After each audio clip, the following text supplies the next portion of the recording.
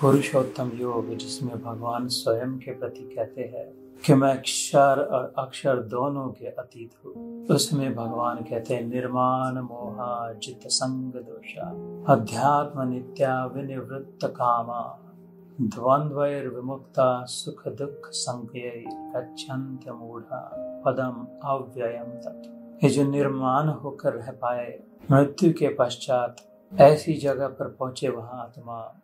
आगे कहते, कैसी जगह पर न तद भाषयते सूर्यो, न शशांको, न पावक यद गत्वा न निवर्तनते तद्धाम परमम Arjun.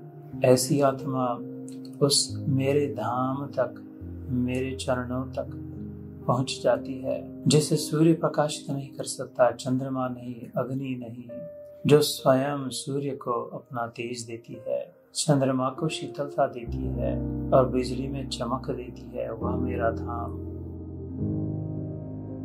If these videos are helpful, please share them with others. Like and subscribe to help spread the message of Krishna. Jai Shri Krishna.